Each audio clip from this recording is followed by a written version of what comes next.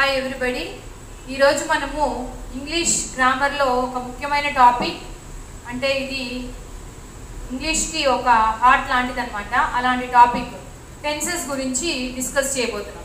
Tenses what is a tense అంటే tense అంటే ఏంది? టైమ్ ఆఫ్ అన్ యాక్షన్ అంటే ఒక పని ఎప్పుడు జరిగింది ఏ పీరియడ్లో జరిగింది అనే దాని గురించి చెప్పేదాన్ని టెన్సెస్ అంటారు. మనకు ఆల్రెడీ టెన్సెస్ అంటే simple sorry present tense past tense future tense అని తెలుసు. కానీ మనకి ఇంగ్లీష్లో మొత్తం ట్వెల్వ్ టైప్స్ ఆఫ్ టెన్సెస్ ఉన్నాయి. అవి ఏంటంటే simple present tense present continuous tense present perfect tense present perfect continuous tense తర్వాత పాస్ట్లో తీసుకున్నట్టయితే simple past tense past continuous tense past perfect tense past perfect continuous tense అదేవిధంగా ఫ్యూచర్లో తీసుకున్నట్లయితే simple future tense future continuous tense future perfect tense future perfect continuous tense ఈరోజు మనము ఈ క్లాస్లో ప్రెజెంట్ టెన్స్ యొక్క నాలుగు టైప్స్. అంటే simple present tense present continuous tense present perfect tense present perfect continuous tense గురించి డిస్కస్ చేయబోతున్నాం. First of all present tense present టెన్స్ని మనము తెలుగులో ఏమంటామంటే వర్తమాన కాలం అంటాం. వర్తమాన కాలం అంటే ప్రస్తుతం ఏమైతే విషయాలు జరుగుతున్నాయో వాటిని చెప్పే కాలం అన్నమాట. వాటిని చెప్పే టెన్స్ అని కూడా చెప్పొచ్చు. For example simple present tense first one present టెన్స్లోకి వెళ్ళా first one simple present tense దీని యొక్క స్ట్రక్చర్ చూసినట్లయితే subject plus V one plus object అనమాట subject plus V one plus object subject అంటే ఎవరైతే ఆ వర్క్ చేస్తున్నారో వాళ్ళని సబ్జెక్ట్ అంటారు. కర్త వి వన్ అంటే మనకు ఆల్రెడీ వర్బ్లో ఫోర్ టైప్స్ ఉంటాయి. V one V through V two V three V four V one అంటే ప్రెజెంట్ వి టూ అంటే పాస్ట్ వి త్రీ అంటే పాస్ట్ పార్టిసిపల్ వి ఫోర్ అంటే వి ఐఎన్జి ఫామ్ అంటే ఐఎన్జి ఫామ్లో వర్బ్ని రాయడం. వి ఐఎన్జి ఫామ్ దీన్ని ప్రెజెంట్ పార్టిసిపల్ అంటారు. ఇక్కడ మనము ఈ సింపుల్ ప్రెసెంట్ టెన్స్లో వర్బ్ యొక్క ఫస్ట్ ఫామ్ని యూజ్ చేస్తాం. ఫర్ ఎగ్జాంపుల్ ఏదైనా ఒక సెంటెన్స్ తీసుకున్నట్లయితే I learn English I learn English ఇక్కడ చూడండి లర్న్కి వి వన్ ఫామ్ ఏమవుతుందంటే లర్న్ అవుతుంది. అంటే లర్న్ లర్న్ లర్న్డ్ లర్నింగ్ ఇక్కడ లర్న్కి వి వన్ ఏంటంటే లర్నే కాబట్టి ఐ లర్న్ ఇంగ్లీష్ ఇంకోటి ఇక్కడ సింపుల్ ప్రెజెంట్ టెన్స్ని మనము ఎక్కడెక్కడ ఉపయోగిస్తాం? ఎటువంటి విషయాల్ని మనము సింపుల్ ప్రెజెంట్ టెన్స్లో చెప్తామంటే డైలీ అకరింగ్ యాక్షన్స్ని డైలీ అకరింగ్ యాక్షన్స్ని మనము సింపుల్ ప్రెజెంటెన్స్లో చెప్తాం. తర్వాత హబిచువల్ యాక్షన్స్ తర్వాత హబిచువల్ యాక్షన్స్ని మనము సింపుల్ ప్రెజెంటెన్స్లో చెప్తాం. తర్వాత universal facts universal facts universal ఫ్యాక్ట్స్ని మనము సింపుల్ ప్రెజెంట్ టెన్స్లో చెప్తాం. ఫర్ ఎగ్జాంపుల్ డైలీ అకరింగ్ యాక్షన్కి ఒక ఎగ్జాంపుల్ చూద్దాం.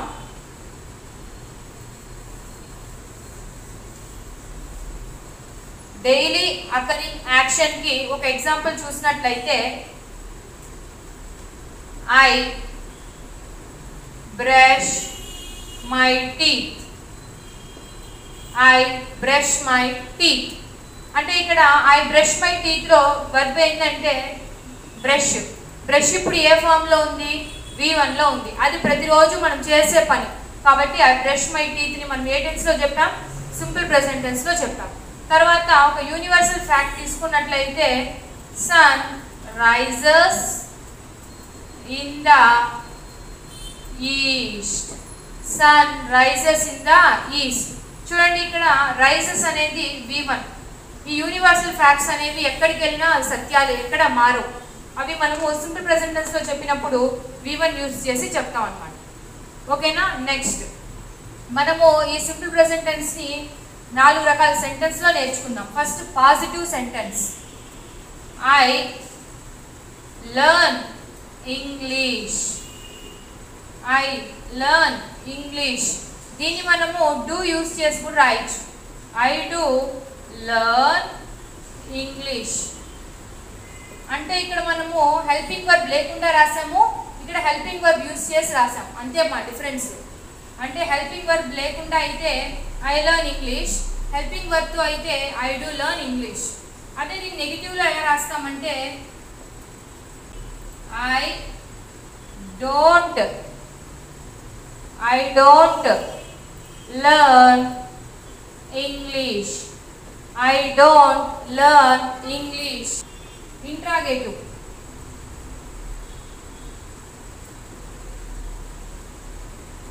interrogative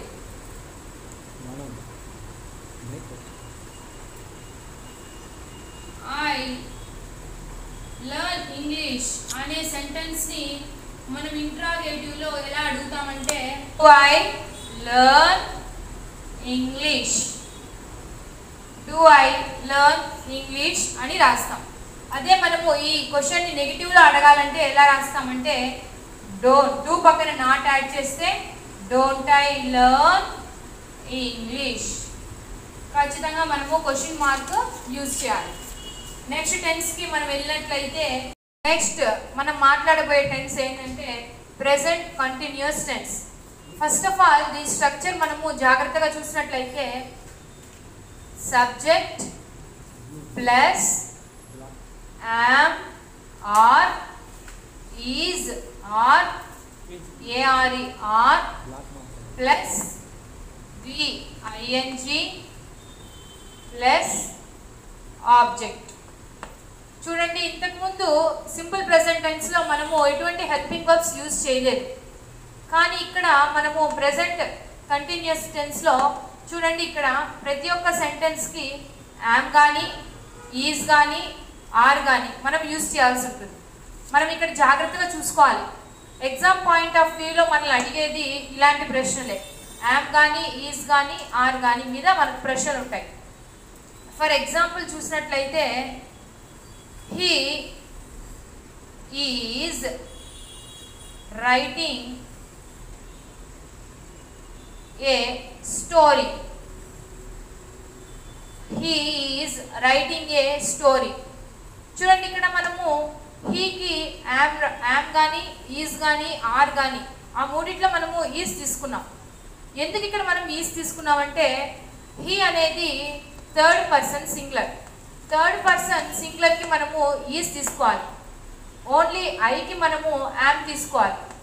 నెక్స్ట్ ప్లూరల్కి మనము ఆర్ తీసుకోవాలి. కాబట్టి ఇక్కడ సింగులర్ కాబట్టి మనము హీకి ఈజ్ తీసుకున్నాం. ఒకవేళ యూ గాన మనము సబ్జెక్ట్లో ఉన్నట్లయితే మనం ఏం రాయాలంటే ఆర్ రాయాలి. ఎందుకంటే సింగులర్లో అయినా యూనే ప్లూరల్లో అయినా యూనే ఓకేనా తర్వాత దీని యొక్క యూసేజ్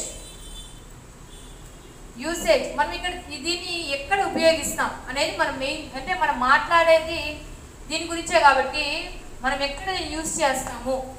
మనకి ఇంగ్లీష్లో దీని గురించి మాట్లాడాలన్నా కూడా ఏ సందర్భంలో దీన్ని మనం మాట్లాడాలనేది తెలియాలి.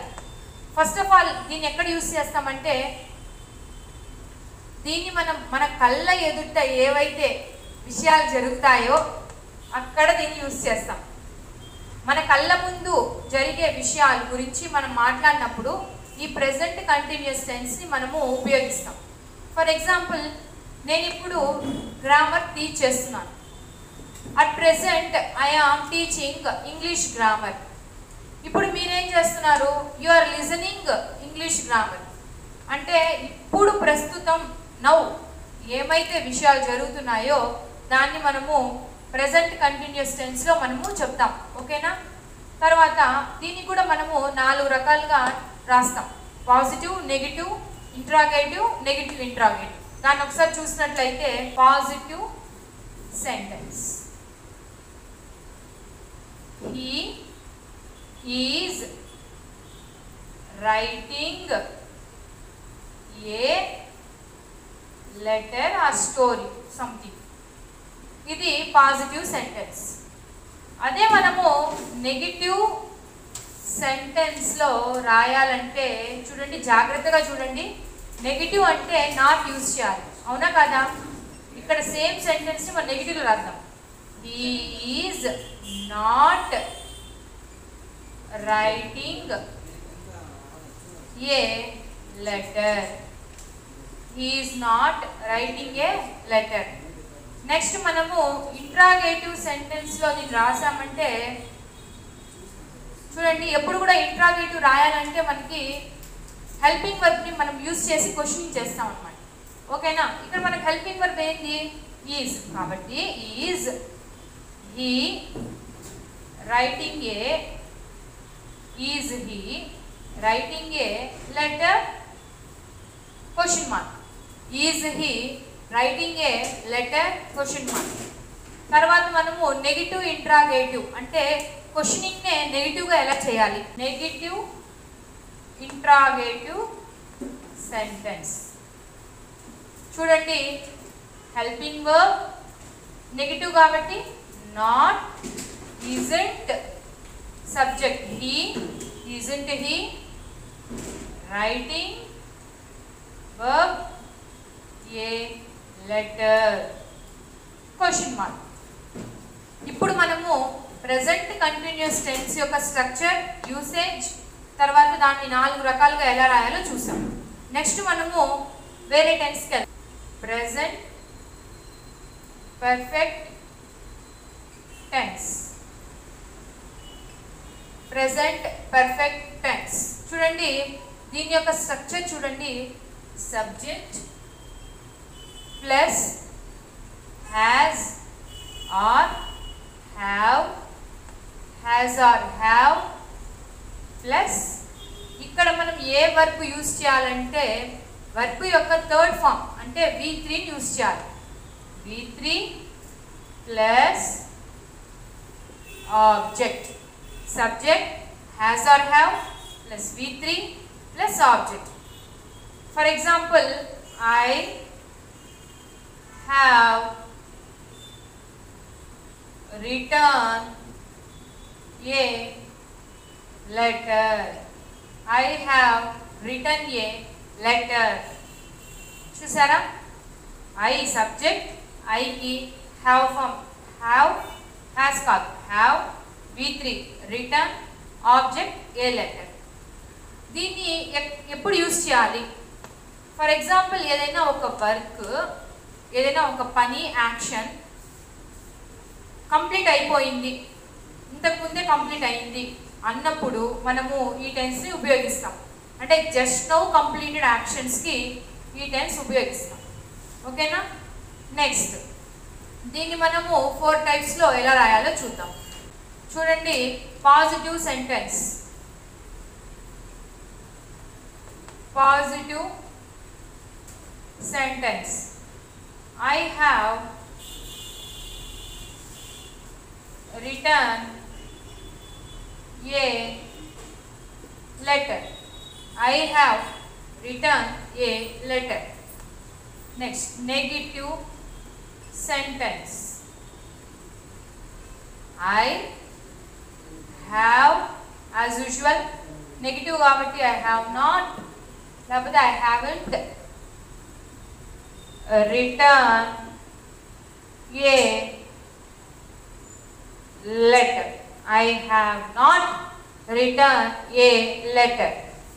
తర్వాత మనము ఇంట్రాగేటివ్ సెంటెన్స్లో చూసినట్లయితే ఇంట్రాగేటివ్ సెంటెన్స్లో చూసినట్లయితే helping word have I return Have I return a letter have I return a letter తర్వాత మనము నెగిటివ్ ఇంట్రాగేటివ్ నెగిటివ్ ఇంట్రాగేటివ్లో చూసినట్లయితే హెల్పింగ్ బర్త్ హ్యావ్ నెగిటివ్ కాబట్టి not haven't I subject I verb V three return తర్వాత object a let.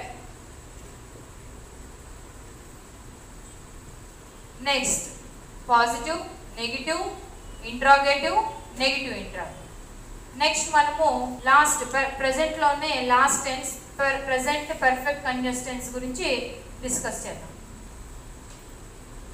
Present perfect continuous. Tense. చూడండి present perfect continuous tense యొక్క structure చూసినట్లయితే సబ్జెక్ట్ ప్లస్ పర్ఫెక్ట్ కాబట్టి మనము హ్యావ్ ఫార్మ్స్ ఖచ్చితంగా యూజ్ చేయాలి. Has or have plus continuous B plus V ing plus object. Okay na? Subject plus has or have plus been plus V ing plus object. For example, I have been I have been playing i have been playing chess. I have been playing chess. ఓకేనా I have been playing chess next దీని usage చూసినట్లయితే ఎప్పుడు use చేస్తాం? Present perfect continuous టెన్స్ని మనము ఎక్కడ use చేస్తామంటే already ఒక action ఎప్పుడో స్టార్ట్ అయింది. అది ఇప్పటికీ కూడా జరుగుతానే ఉంది. అది ఇంకా కంప్లీట్ కాలేదు.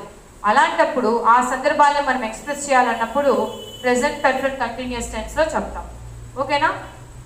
నెక్స్ట్ దీన్ని ఫోర్ టైప్స్లో ఎలా రాస్తామంటే first positive sentence I have been playing chess I have been playing chess next negative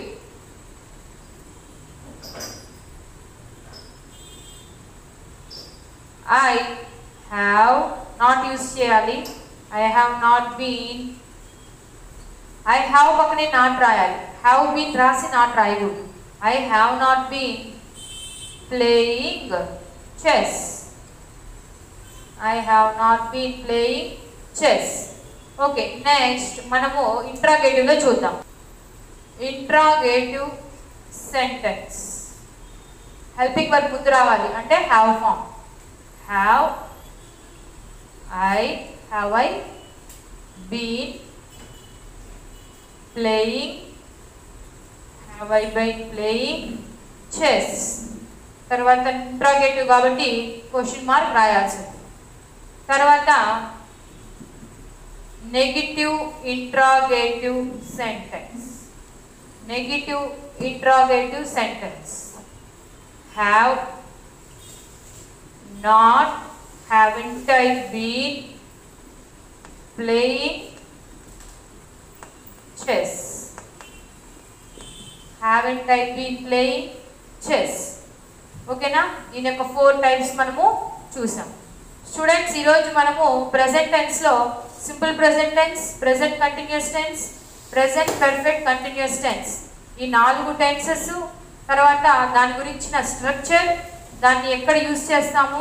తర్వాత దాన్ని పాజిటివ్గా ఎలా రాయాలి? నెగిటివ్గా ఎలా రాయాలి? నెక్స్ట్ ఇంట్రాగేటివ్ అంటే క్వశ్చన్ క్వశ్చన్ ఫామ్లో ఎలా రాయాలి? అదేవిధంగా నెగిటివ్ ఇంట్రాగేటివ్లో ఎలా రాయాలో నేర్చుకున్నాం. తర్వాత నెక్స్ట్ క్లాస్లో మనము పాస్ట్ ఫ్యూచర్ గురించి డిస్కస్ చేస్తాం. Okay okay students bye